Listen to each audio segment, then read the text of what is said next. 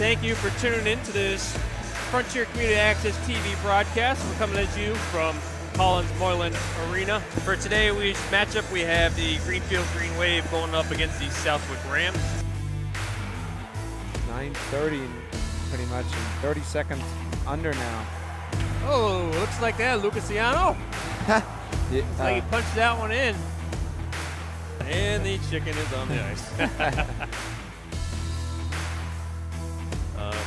oh, oh, look at that. Loose out in front. Brody Buska.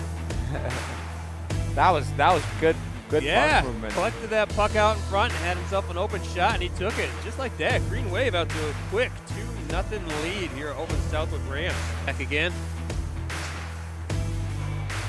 Hey, there's a goal. I know Brady Buska had it, but that might have been Sean Bauman to tip it in. Still Green Wave now up three to one over Southwick.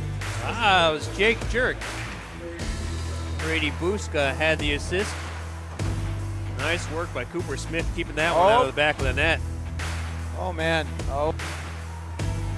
Putting on some nice moves. Hey, Oh. nice. That was Lucas Sayano.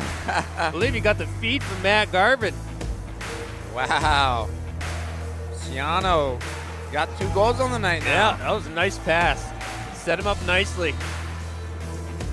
Was able to catch the uh, goalie kind of lean into his left and then went ahead and took a shot in the uh, right hand pocket.